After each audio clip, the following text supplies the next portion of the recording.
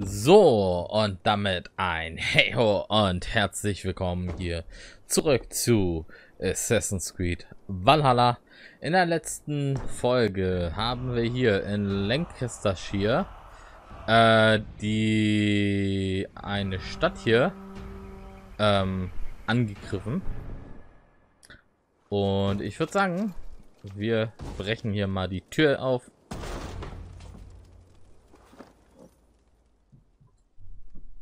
Mal gucken. Weil eigentlich sollte hier noch ein König irgendwo verschwunden sein. Oder überhaupt sein. Nimm drei Männer, seht hinten nach. Seht euch um, schaut, was zu finden ist. Ich schicke nach Ceolwulf. Sein Thron wartet auf ihn. Hm. Okay. Eine hübsche Rauferei war das. Carnivore. Aber ein kleiner Etterling fehlte bei alledem. Wo war der Sohn unseres Königs? Gilbert war dabei. Vielleicht hast du ihn verpasst? Deine Lügen entsprechen deinem Wesen, Evor. Groß und kühn. Okay. Okay, ein Symbol und königliches Abkommen an die äh, an den allmächtigen König. Wir haben eine Abmachung. Jedenfalls, falls es immer noch dein immer noch dein Arsch ist, der auf Thron von Mercia wärmt, äh, den Thron von Mercia wärmt, wenn diese Nachricht ankommt. Ich weiß, äh, was ich weiß, ist folgendes: Die Ragnarsons sind mit jemanden von deinen Leuten im Gespräch. Sein Name ist Cheolwolf. Zusammen schmieden sie einen Plan, dich zu stürzen und ihn an deinen äh, ihn an deiner Stadt einzusetzen. Ein Nordmann namens Sigurd ist eingetroffen und hat äh, sich mit den Brüdern verbündet. Der Angriff wird bald erfolgen. Halte deine Männer bereit. Was dein Geheimverstecke, äh, deine Geheimverstecke angeht, sind diese vorerst sicher. Doch damit das auch so bleibt, musst du bezahlen. Ich erwarte deine Antwort, doch bitte schick mir diesmal einen hübscheren Gesandten. Hm, ein Verzeichnis von Zahlungen. Wie ein Haushaltsbuch. Hier ist ein Emblem, womöglich von einem Clan. Die Brüder sollten das sehen. Ja. Sofort hier Achso, nee, das waren nur die draußen die Leute, okay. Ja, dann quatschen wir mal kurz mit äh, Iva.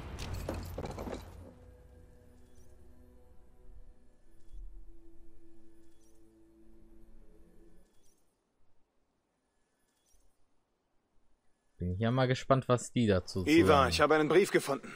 Dieses Symbol hier. Der pennt.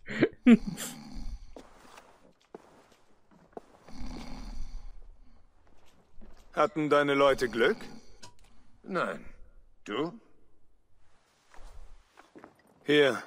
Kennst du dieses Zeichen?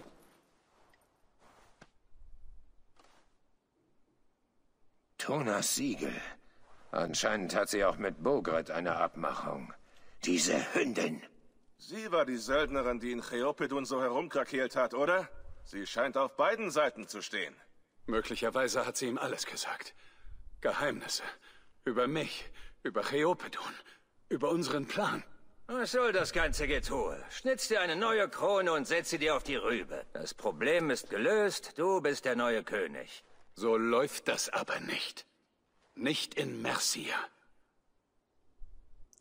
äh, brauchen wir Burgred wirklich?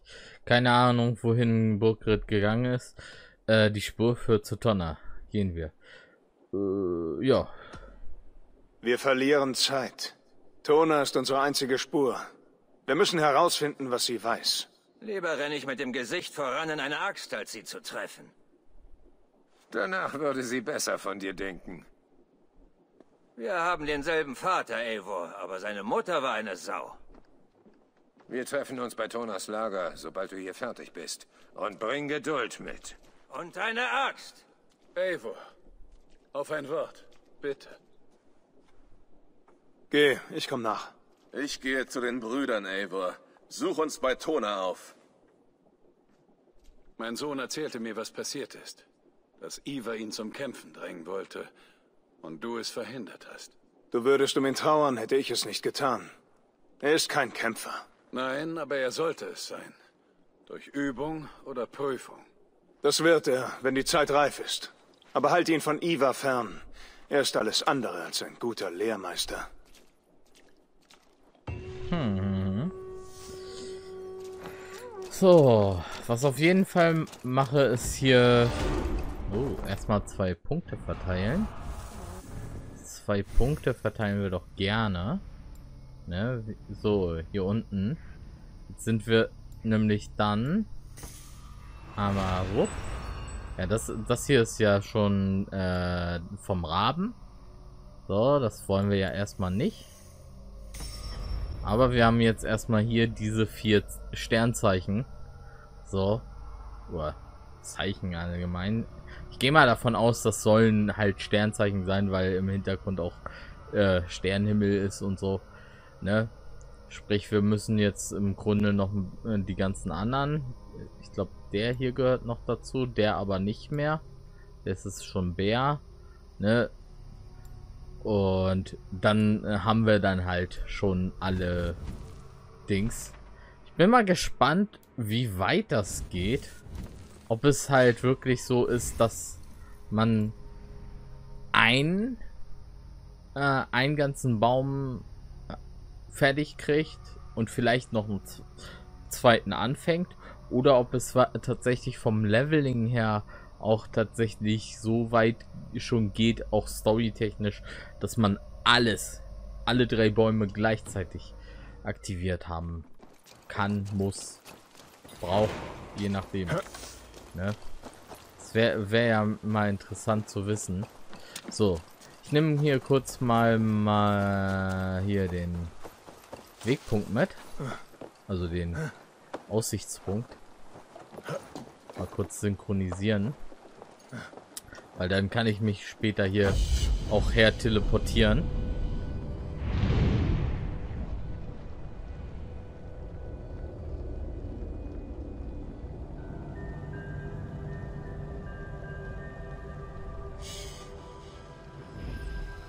Wusch. So, Synchronisierung abgeschlossen. So, da oben müssen wir hin. Ja, das Heißt, ich kann hier Todessprung hier runter. Zack. Dann einmal hier runter. Zack. Ich rufe mein Reittier. Und wir reiten los in die Richtung einfach. Straight in die Richtung, dann sollte das passen. Ne? Ach nee, warte mal, hier ist noch ein... Hier ist ja noch äh, eine See dazwischen. Wobei mein Reittier sollte ja schwimmen gelernt haben. Brauche ja nicht hier großartig Dingsen. Da brauche ich ja großartig nicht äh, hier.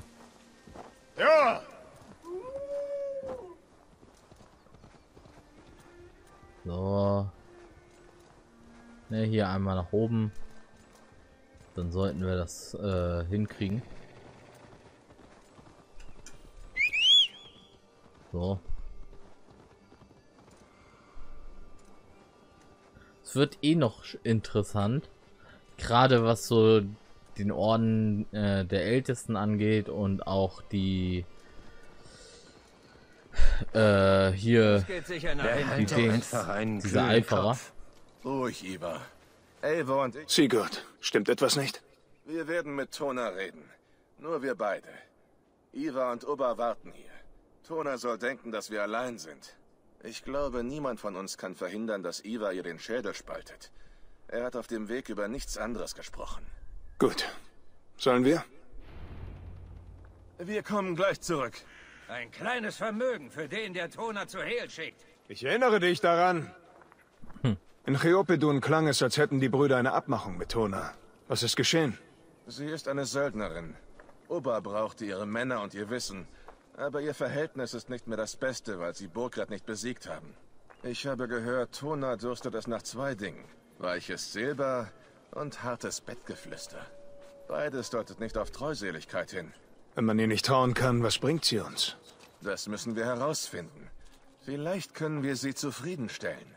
Und wenn wir das nicht schaffen? Eva sagte, du sollst deine Axt mitnehmen. Da sind sie ja. Wie erwartet. Wenn sie an dir Gefallen findet, rede du weiter. Ich glaube, du bist eher nach ihrem Geschmack. Nein, nein. Das ist... Sigurd, warum kommst du an diesem lebhaften Tag in mein Lager geschlendert? Ich vermute, das weißt du bereits. Ja. Der Gestank glühender Kohlen verrät dich. Und doch bist du hier, um zu reden. Also ist Burgred wohl unauffindbar. Und wer bist du, mein Täubchen? Willst du deinen Arsch in meinen Schoß setzen? Nenn mich. Was? Nenn mich nicht so. Ah, ich verzichte. Äh, kommen wir zum Punkt. Deswegen bin ich nicht hier. Wo König Burgred ist, das wollt ihr doch wissen. Und warum denkt ihr, ich hätte die leiseste Ahnung davon? Wir haben Briefe gefunden. Aufzeichnungen eines Handels. Ihr beide habt eine Vergangenheit. Was soll ich sagen? Der König zahlt gut für meine Dienste. Wenn ich nur dasselbe über diese Ragnarsson-Dummköpfe sagen könnte. Du redest aber gerade mit mir. Und ich will wissen, was du weißt. Nenn mir deinen Preis. Also gut. Ich könnte eine neue Kuh gebrauchen. Du könntest sie bezahlen. Mm. Ich werde dich nicht bezahlen. Ah, hier. Wenn Sheolwolf auf dem Thron sitzt, wird es ihn kaum freuen, dass du ihm im Weg standest. Dass du an ihm zweifeltest. Gib dich mit der Hälfte zufrieden und Sheolwolfs erster königlicher Befehl wird nicht deine Enthauptung sein. Starke Ansage. Spuck's aus. Burgred bezahlte mich, um die Ragnarsons von zwei Orten fernzuhalten. Legrakester und Tempelburg. Eine große Menge Silber.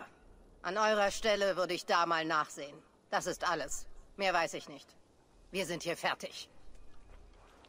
Legrakester und Tempelbuch. Sagen dir diese Orte etwas? Mir nicht, aber den Brüdern sicher. Ich werde es ihnen erzählen. Bleib nicht zu lange hier. Wir müssen uns einen König fangen. Hm.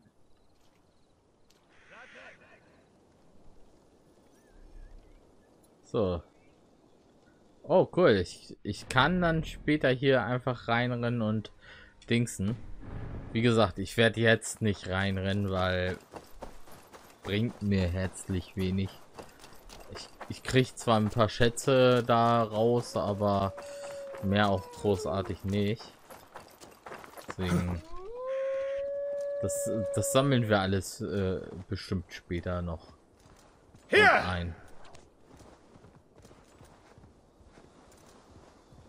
Vielleicht mache ich auch einiges offscreen oder so. Mal gucken.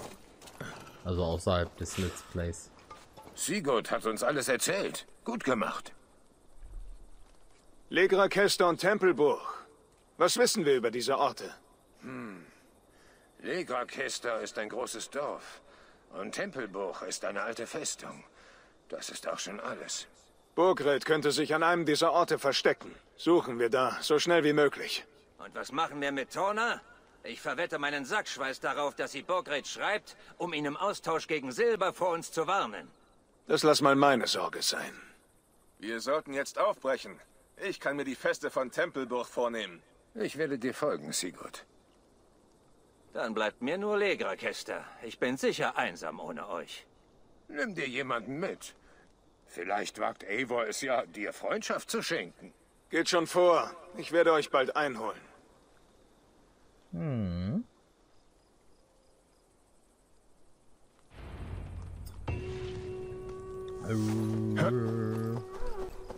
Okay, meine Köcher sind voll. Und wieder ein Level up. Halleluja. Das geht aber gut hier. Ne? So, die haben wir. Was haben wir hier? Zähne zusammenbeißen. Regeneriere den roten Teil deiner Gesundheitsanzeige, wenn du erfolgreiche Nahkampftreffer bei Gegnern landest. Ah, okay. Ah, ist gar nicht so doof. Schlachtfeldgeschoss. Drücke ja, um den nächsten, äh, um die nächste gefallen, fallen gelassene Waffe aufzuheben und automatisch auf den Gegner in der Sichtweite zu werfen. Äh, Bogen-Nahkampfwechsel, wenn du zwischen Bogen- und Nahkampfangriffen wechselst, richtest du kurze Zeit extra Schaden an. Äh, Notfallzielen. Halte, um, ja, nee, ich glaube, wir gehen unten lang. Hier. Ne, dieses äh, Zähne zusammenbeißen hört sich eigentlich ganz stylisch an. So.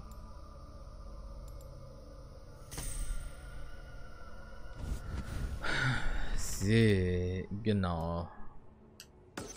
Mit Iva. Nee. Zack. Und wo müssen wir hin? Wir müssen nach da ganz drüben. Ja komm, da reiten wir schnell hin. Ne? Da, äh, da reiten wir schnell hin. Das äh, geht, glaube ich, schneller, als wenn ich jetzt das kleine Stück hier laden würde und dann äh, Dingse.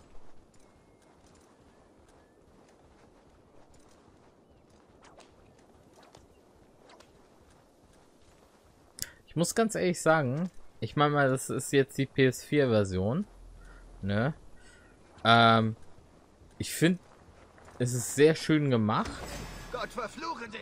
Auch wenn es jetzt, ich sag mal, nicht die beste Grafikeinstellung ist. Jetzt, ne?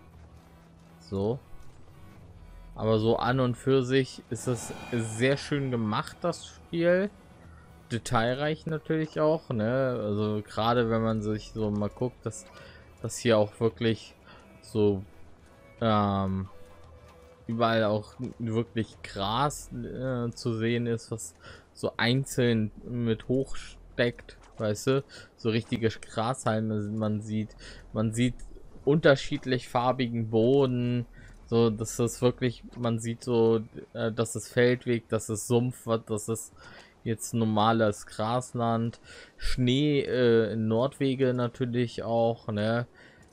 Dann äh, auch so diese ganzen verschiedenen Bäume und Pflanzen, die man dann noch hat. Wenn ich gesehen werde, gibt es Ärger. Uh, up. Hier sollte ich vielleicht aufpassen.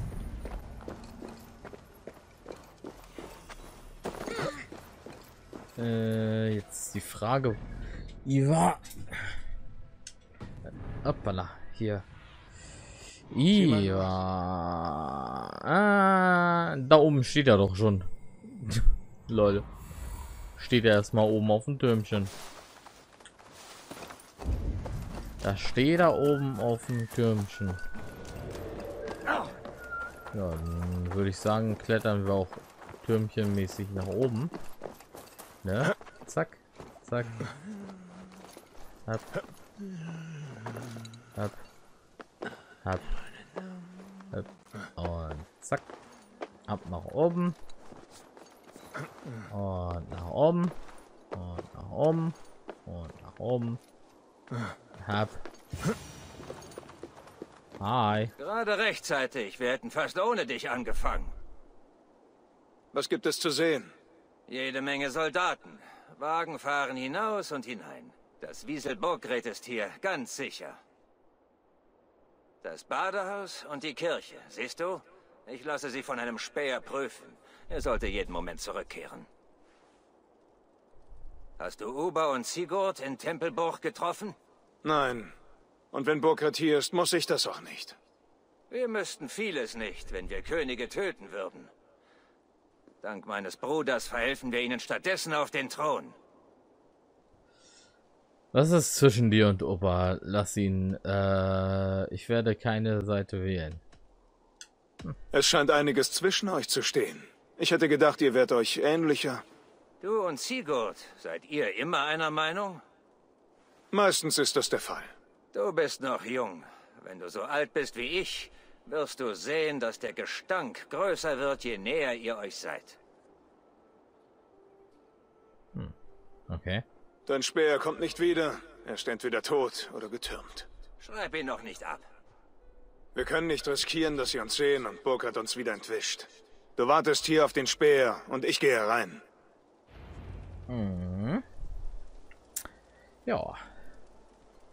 Aber ich würde sagen, hier ist doch schon so ein schönes Fleckchen, wo ich dann erstmal sagen würde, war es das erstmal für diese Folge von Assassin's Creed Valhalla für heute.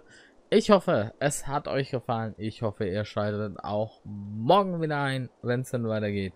Hier an dieser Stelle.